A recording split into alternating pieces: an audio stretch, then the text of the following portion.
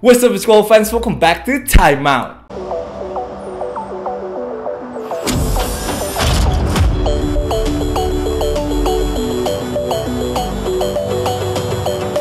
Balik bareng gue Padilla, kita kembali lagi ke info basket harian dari 29 Mei 2022 Time Out yang pecah sudah rekor viewsnya Time Out Untuk pertama kali dalam sejarah Time Out berhasil menembus 50 ribu views. Hey, mantap banget tepuk tangan dulu dong untuk Time Out Gang Once again man, thank you so much for your amazing, amazing support. And of course, thank you so much untuk semuanya sudah dukung tim nasional kita juga. Di mana itulah episode Timnas memecahkan sejarah Memenangkan medali emas pertama mereka di dalam sejarah SEA Games. So once again congratulations untuk timnas. Dan besok Semoga terjadi beneran guys. Seharusnya besok jadwalnya adalah gue untuk interview dengan Marquis Bolden. Jadi Marquis tadi udah balas DM gue dan dia sudah bersedia untuk di interview Sekarang tinggal gue mencari tahu aja besok timnas latihannya jam berapa. Karena memang janjiannya sama Jeremy adalah untuk um, menginterview Bolden itu di latihannya timnas. And of course this morning uh, gue udah upload juga video game highlights Yaitu timnas U16 yang main masih seleksi melawan Bumi Borneo. Itu gamenya tipis banget man men tipis banget seru banget. So make sure you support that video as well setelah nonton timeout kali ini. And ya yeah, kalau kalian ingin titip pertanyaan untuk Marquis gue udah buka open question box juga di uh, Instagram gue at Rocky Padilla Snap. So I will be waiting dan ntar gue akan baca beberapa pertanyaan. Siapa tahu gue bisa tanyain ke Marquis besok ini. So once again thank you so much guys for your amazing amazing support. Dan Langsung kita masuk ke comment of the day. Datangnya dari RC7 Card Geek. Ini kayak penggemar kartu basket juga nih ya.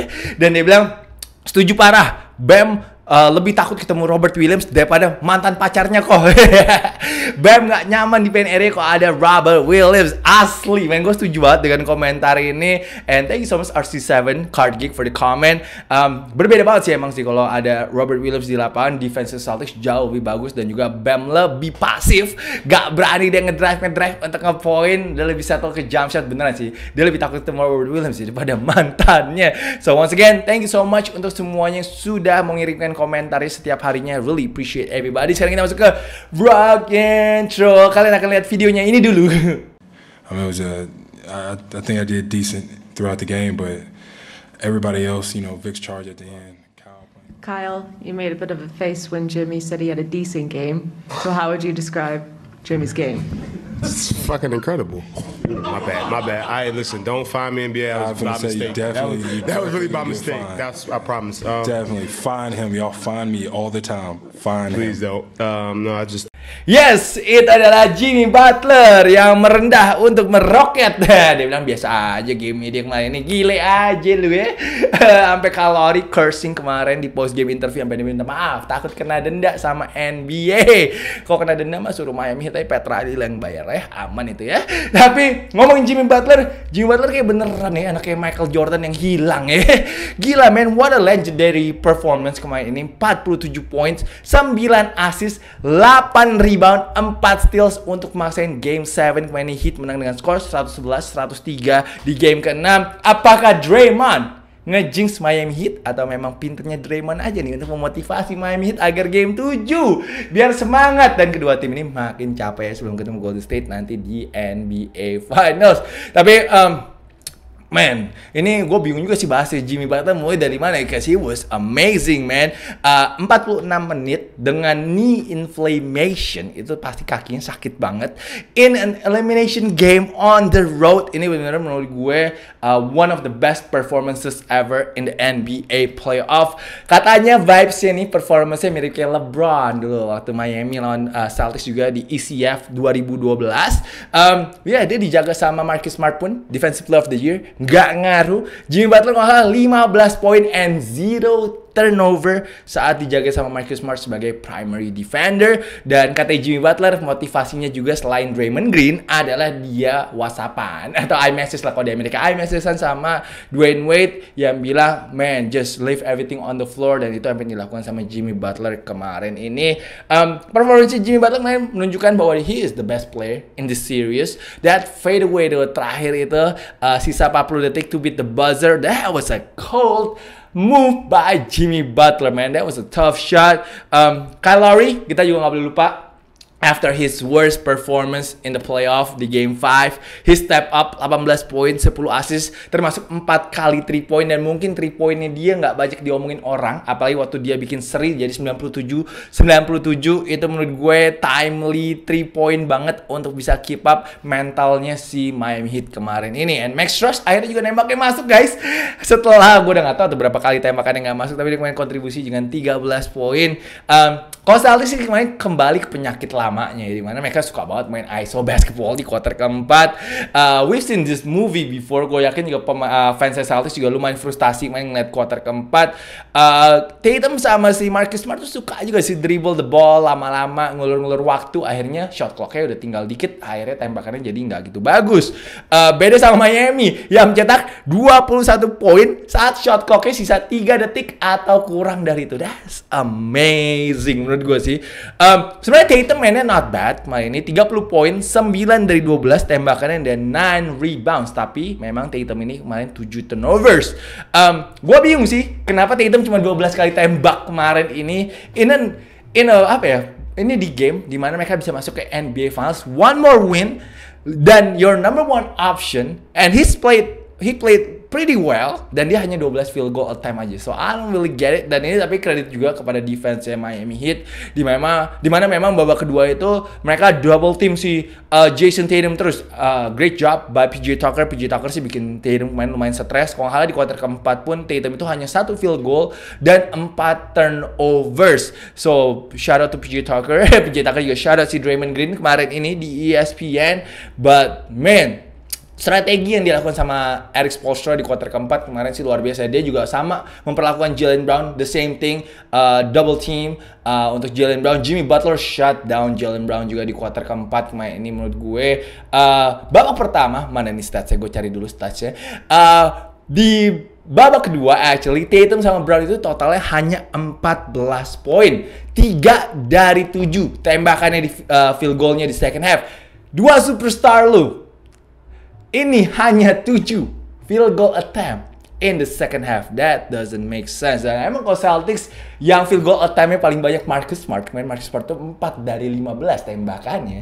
Ini memang disaster sih. Disaster. Nggak boleh sih menurut gue ya. Dan um, man, si Jalen Brown juga main 20 poin. Tapi emang Jalen Brown pun juga bermasalah free throw-nya di terakhir-terakhir itu. Dia miss two big free throws kemarin ini. Dan saat si Jalen Brown miss dua free throw itu si Jimmy Butler habis itu and one layup and then setelah itu PJ Tucker dapat steal and dua free throw. Akhirnya 5 poin tanpa balas dan di situ menurut gua momentumnya sudah hilang untuk si Boston Celtics. Um, di kuarter keempat kenapa Celtics bisa kalah juga? Karena Time Lord tidak ada Time Lord katanya masuk ke locker room di kuarter keempat. Gue nggak tahu cedera, mungkin cederanya kambuh lagi kemarin ini. Uh, Benar-benar beda sih sama kalau nggak ada Time Lord. Ya. Defense mereka tuh jadi kurang banget. Menurut gue kayaknya defensive play of the year harusnya Time Lord kali ya, bukan si Marcus Smart ini sih. Tapi man, they wasted a great game from Derek White. Di mana Derek White memang mencetak 22 poin off the bench. Dan Celtics belum pernah kalah back to back setahu gue sejak bulan Januari lalu. Tapi kita lihat ya, setahu gue jadwalnya si um, Boston Celtics ini agak gila sih di 23 hari terakhir ini. Kalau mereka main 11 game dalam 23 hari. Jadi ini capeknya pasti capek juga dan mereka pun udah cancel their shoot around untuk game 7.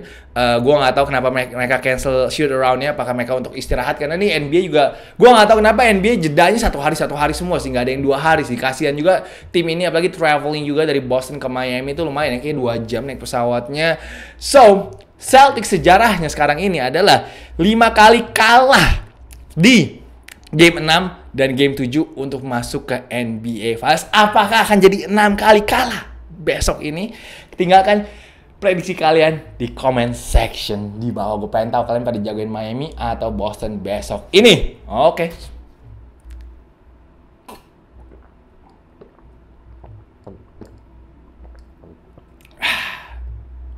Sudah lama sekali kita tidak minum air untuk membahas Los Angeles Lakers. Akhirnya mereka membuat berita lagi kemarin dengan hiring Darvin Ham sebagai pelatih mereka next season. Gimana fans Lakers? Apakah kalian suka dengan pilihan ini? Kalian bisa juga tulis di comment section di bawah. Um, sedih ya ini artinya mereka nggak ngambil Doc Rivers oh my god gua udah bakal seneng banget kalau Lakers ngambil Doc Rivers karena mereka akan menjadi more the Walkers next season kok ngambil Doc Rivers karena Doc Rivers lo tau lah ya, selalu ngaco banget pelatihnya apalagi di playoff.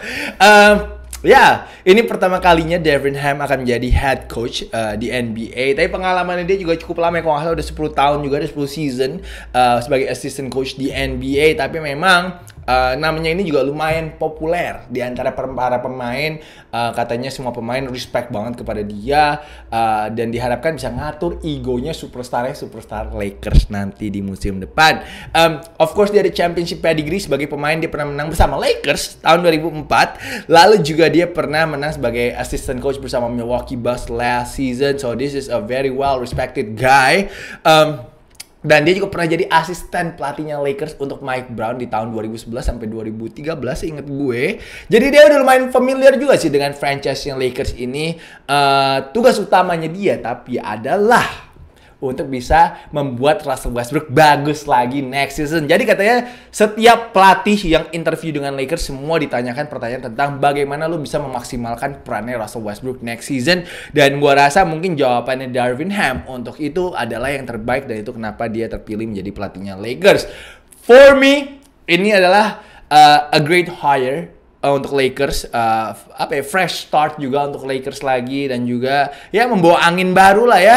Uh, I think pem, uh, LeBron juga excited LeBron juga udah nge-tweet dia tadi nonton uh, final Champions League tapi sayangnya Liverpool kalah. But congratulations pada semua fans Real Madrid menang 1-0 um, I think LeBron excited. Uh, kayaknya mungkin juga LeBron mungkin involved juga dalam pemilihan pelatih ini. I think most likely lah ya.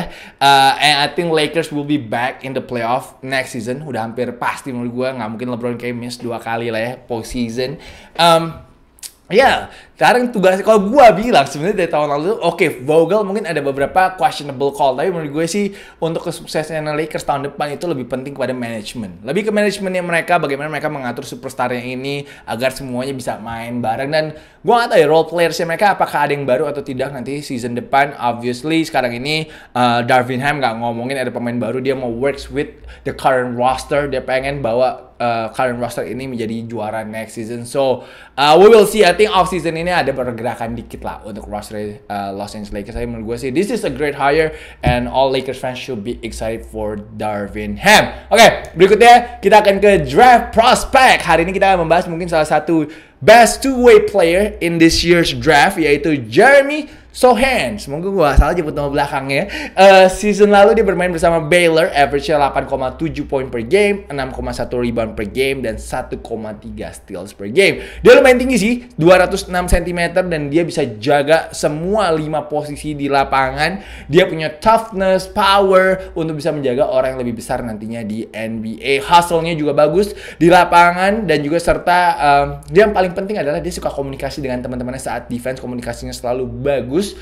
Uh, dia juga menjadi bisa jadi playmaker loh. Dia bisa jadi playmaker. Gue juga kaget tentang hal ini. Tapi dia di open court itu insting passingnya lumayan bagus. Tapi kekurangannya jelas adalah dia nggak gitu bisa nembak. Three pointnya hanya 30% last season dan free throw-nya hanya 57,5%. Those two numbers need to be better in the NBA serta juga dia harus nambahin post up move juga dia nggak terlalu bisa post up move. Tapi other than his scoring, I think he's a pretty solid prospect dan tampaknya akan ada di top 10. Dia itu permainannya mirip sekali dengan Draymond Green ataupun juga dengan Ben Simmons. I think a lot of teams gonna be uh interested in him. Tapi menurut gue ya top 10, top 15 kayaknya dia bisa sih uh, apalagi tim-tim yang suka banget kalau pemain yang lumayan panjang size dan juga bisa defense multiple positions. Jadi kalau gue lihat kayaknya mungkin Spurs mungkin mau ngambil dia di posisi 9 bisa jadi kalau nggak Spurs maybe Washington Wizards. Uh, ini adalah prospek yang cukup menarik untuk dua tim tersebut. Oke sekarang kita masuk ke top styles. Ini Jalen Brown keren juga ini pakai Chanel jeans. Damn those jeans are fire man. Dia emang fashionnya selalu bagus sih si Jalen Brown ini. And of course Jason Tatum kemarin pakai kaos vintage. Coach K uh, representing his old coach. Uh, love the shorts juga loh. Shorts ini asik juga sih menurut gue sih. Shorts si Jason Tatum. Top place, gue gak nemu place yang keren-keren amat kemarin ini. So kita langsung masuk ke play of the day. Play of the day pastinya siapa lagi kalau bukan Jimmy Butler dengan 47 poin, 9 assist, 8 rebounds, 4 steals, 16 dari 29 field goalnya. One of the best playoff performance ever. So that is why he is our player of the day. So timeout gang, itu dulu untuk timeoutnya hari ini. Gue akan langsung berangkat. Abis ini ngedit bentar, langsung berangkat berangkat ke Bulungan lapar banget udah pengen makan hot band so Once again, Time Out Gang, thank you so much man for always supporting Time Out. Gak bosan-bosan nonton setiap harinya. Really appreciate everybody. Jangan lupa untuk like, jangan lupa untuk comment. And I will see you guys again probably tomorrow. Peace out.